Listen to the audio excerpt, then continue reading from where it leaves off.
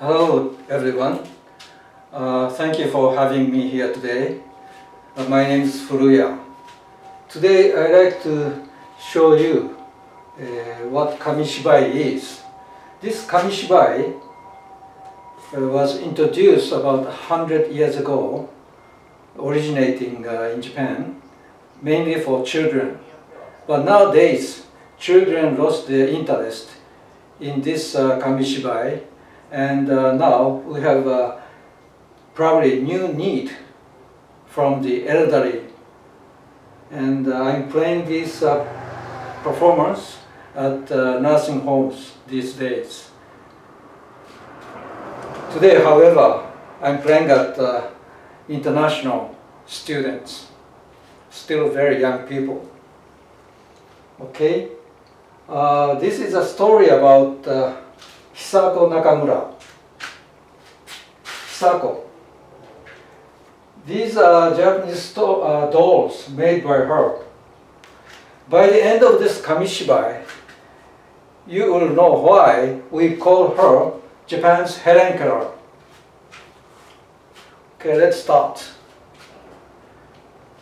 Hisako was born in 1908 in Gifu Prefecture without arms and legs. She led a terrible life. In Japan, about 30,000 people killed themselves. I'm certain some of them may not kill themselves if they knew how she lived.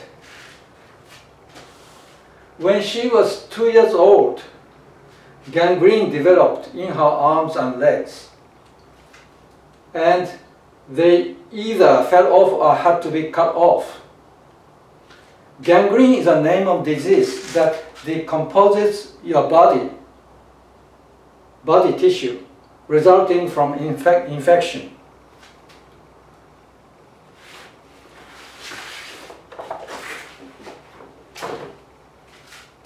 This was a common Japanese lifestyle some hundred years ago her mother raised Hisako strictly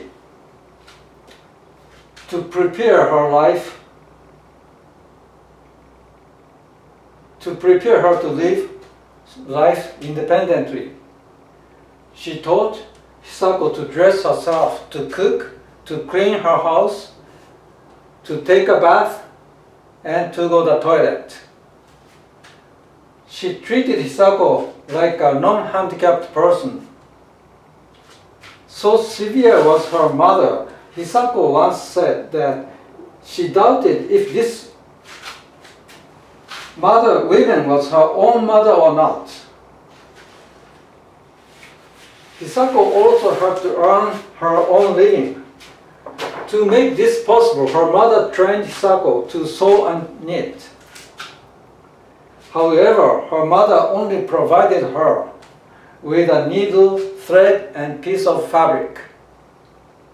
She left Hisako unattended so that she could learn how to thread the needle by herself in her own way.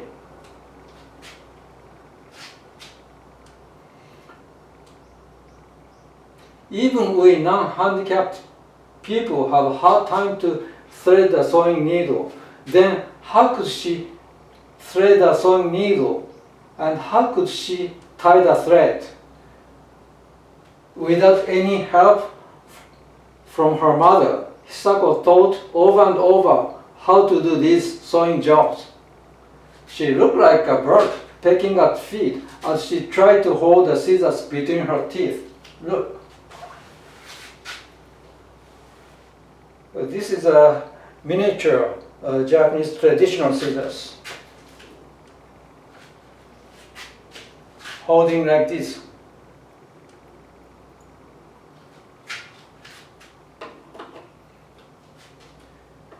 She wrapped a towel around the stump of, of her arm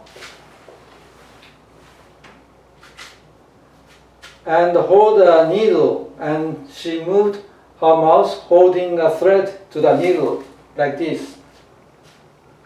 Then how could she tie the thread? she worked out her own way to tie the thread in her mouth using her tongue. Like any young girls, Hisako wanted to play with her friends, but she was kept most of the time within her house. So she spent every day practicing her sewing at home. One day she finally sold a Japanese doll. And gave it to uh, one of her few friends.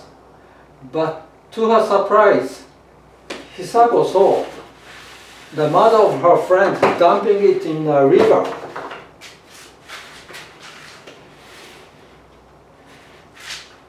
The mother of her friend didn't let her daughter to keep it because the doll was wet. The doll got wet because Hisako had to use her tongue to tie the thread.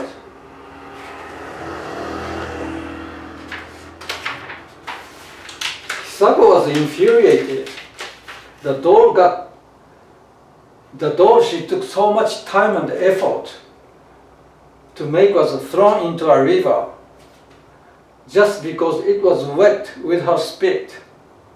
She used this humiliation she felt from this experience to turn her soul on fire. Since that day of humiliation, she practiced her sewing day and night relentlessly. One day, after much struggle, she finally learned to tie a thread in her mouth without wetting the thread. She said it just happened miraculously while she was deeply engaged in practice. From this experience, she later said she learned that humiliation had become her valuable treasure of her life. When she was 20, she was sold to a tent sideshow business. This is a hand cart, traditional popular transportation equipment. The owner thought Hisako could make money for his business by showing how women without arms and legs could sew, knit, and write calligraphy. She did this for about 20 years and had never spent even one day without feeling humiliation. One day she was invited to perform her sewing and calligraphy at uh, elementary school. Since then, she gave speeches of her experience at many places. She continued to do this until her death at 72 in order to give hope for a better life, regardless of whether one was handicapped or not.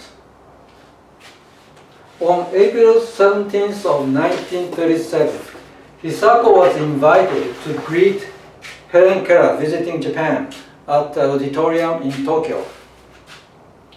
On the stage, she presented a doll she made to Helen Keller. Grasping her hands, Helen Keller said to the audience that Hisako lived a tougher life but accomplished more things than she did. Hisako lived a life full of struggle that non-handicapped people could barely imagine. Once in her early days, she cursed her misfortune of losing her arms and legs. But as she got old, she started to appreciate that her misfortune gave her determination to live strong. She discovered that she did not live for herself, but for a life given by God and Buddha. She realized that one should live by soul, not, but not by body. At 65, she was awarded a prize for helping people from the Ministry of Health and Welfare. She even left a will offering her body for medical research. She had never asked for someone's help, nor received public welfare. She treaded a thorny path like a worm. There were no wheelchairs these days. By the way, she had two daughters.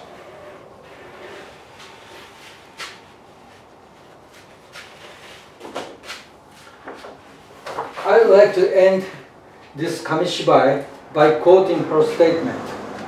Non-handicapped people tend to complain what they don't have. But I, without a perfect body, was always thankful for what I had. Thank you.